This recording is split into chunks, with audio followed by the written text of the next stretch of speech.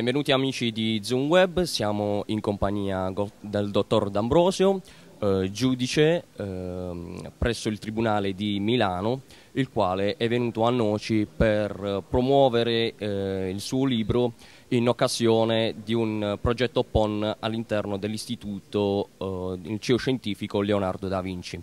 Allora, eh, dottor D'Ambrosio, eh, qual è la difficoltà nel contrastare il terrorismo internazionale, come ha potuto uh, un attimo spiegarlo ai ragazzi con parole uh, non tecniche, eh, quindi questa sua uh, visione del terrorismo in ambito italiano.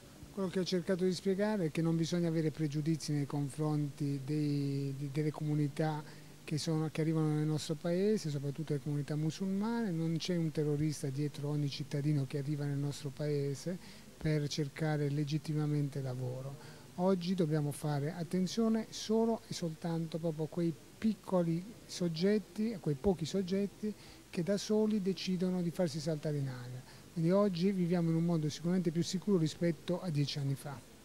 Lei eh, poc'anzi non si è definito, eh, o meglio si è definito un giudice non scrittore, a differenza dei altri colleghi come fa uh, un giudice a trovare il tempo anche da dedicare alla scrittura? Lei edita con uh, Mondadori, uh, che è la sua casa editrice che la promuove, e quindi volevo sapere con quali tempi, con quali tempistiche un giudice riesce a trovare il tempo per scrivere un libro così importante come il suo? La, insomma, l'affiliazione di questo libro è durata per un anno, eh, passare insomma, il tempo sufficiente per, eh, in un anno lo si trova.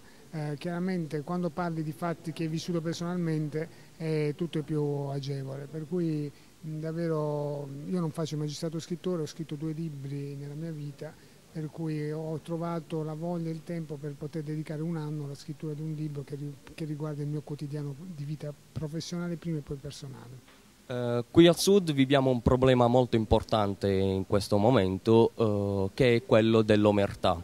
Uh, molti cittadini non si allacciano, non si interfacciano con le forze dell'ordine per denunciare alcuni eventi delittuosi.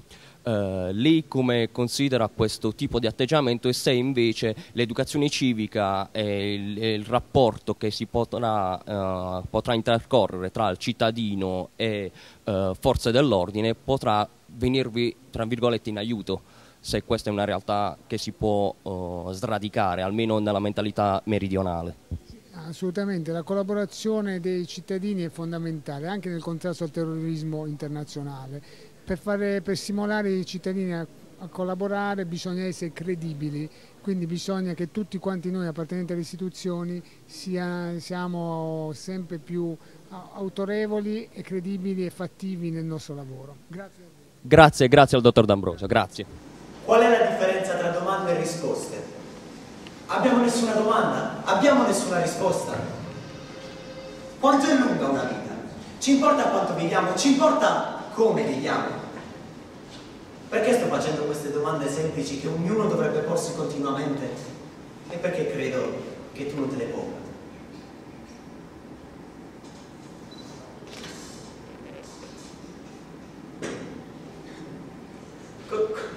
Cos'è l'esistenza perfetta? Cos'è l'intuito? Se usiamo il nostro intuito, cosa ci piace? Sappiamo come amare, amiamo, sappiamo come odiare, odiamo. Pensiamo che i neri stiano decadendo fisicamente e mentalmente, o i bianchi, o pensiamo che i neri siano un tantino inferiori. Diciamo bugie? Ci importa se diciamo bugie? Quante volte mentiamo al giorno? Pensi di dover mentire per andare avanti nel mondo? Finisco con domande perché non ho risposte ma quel che voglio sono risposte. Possiamo vivere senza, senza dimenticare. Possiamo dimenticare senza vivere. O possiamo ricordare senza vivere e senza cambiare questo mondo. Due torri che crollano, un mercato che esplode. 6 milioni di persone bruciate nei laghi, una nave senza un capitano meditiamo. Meditiamo su come possiamo cambiare il mondo o su come fare in modo che tutto questo non accada più.